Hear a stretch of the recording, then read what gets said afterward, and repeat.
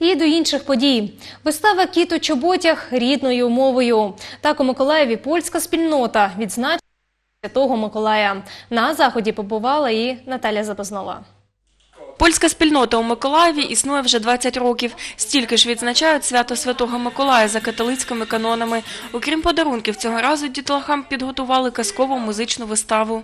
К нам приехали гости из Одесского общества поляков имени Адама Мицкевича э, со, со спектаклем Фредры на польском языке «Кот в сапогах».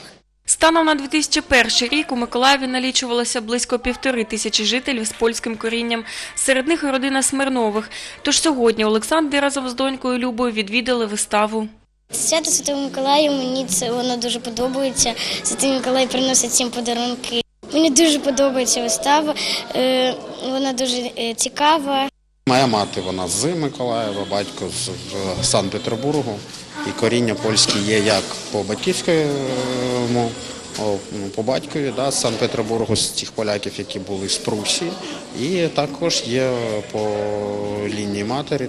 Я частково є поляком і дуже добре те, що ці традиції вони є, і вони є в першу чергу не для мене, а для моїх дітей. Наразі спільнота готується до Різдва та вивчають колядки польською. Наталя Забазнова, Андрій Заворотній, телевізійні новини Миколаївщини.